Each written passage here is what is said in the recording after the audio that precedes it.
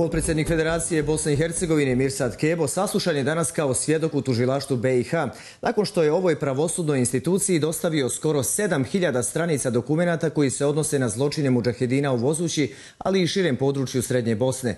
Tužiocu je otkrio i odakle mu ova obimna dokumentacija. Nakon dva sata davanja iskaza Kebo je priznao da mu je tužilac potvrdio da je istragom o ratnim zločinima nad Srbima u Vozući u Sakiba Mahmuljina, bivše komadanta treće korpusa takozvane armije BiH, obuhvaćeno još deset lica. U istočnom Sarajevu je Aleksandar Crkvenjaš. Aleksandre, šta je Mirsad Kebo još otkrio? Kebo se pohvalno izrazio postupajućem tužiocu Kasimu Helečeviću, od koga je dobio e, potvrdu da se protiv ratnog komandanta jednog od korpusa takozvane armije Republike BiH vodi istraga. Pozvao je i OEPS i Međunarodnu zajednicu da nadgledaju započeti sudski proces.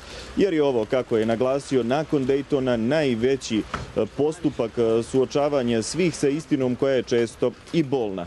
Kebo je danas u tužilaštvo donio i dodatnu dokumentaciju o ratnim zločinima koja nije obimna bitna, ali je, kaže, veoma bitna. E, s obzirom na ozbiljnost optužbi, očekuje se da će proces biti dugotrajan. Više u prilogu Gvozdena Šarca.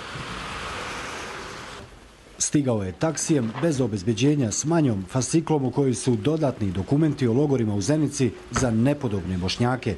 Od 16. decembra Kebo je dostavio obimnu dokumentaciju koja ratnog šefa policije u Zenici, šefika Džaferovića, komandanta takozvane armije Republike BiH Sakiba Mahmuljina, ali i druge, dovodi u vezu sa ratnim zločinima nad Srbima. Mogu vas ovdje obavijestiti da me tužilac upoznao, da se protiv Sakiba Mahmudina vodi postupak za ratni zločin.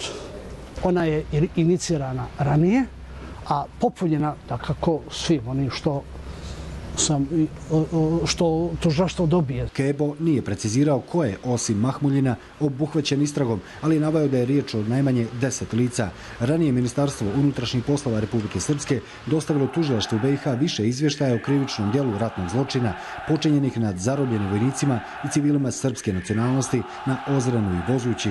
Osim ratnih komandanata drugog i trećeg korpusa takozvane armije Republike BiH, na spisku su i komandanti odreda El Mujahid. U operacijama takozvane armije Bosne i Hercegovine na Ozrenu i Vozući u maju 1995. godine prilikom napada jedinice El Mujahid nestalo je 17 pripadnika Prnjavorske brigade Vojske Republike Srpske, koji su uglavnom likvidirani nakon zarobljavanja, odsjecanjem glave ili klanjem.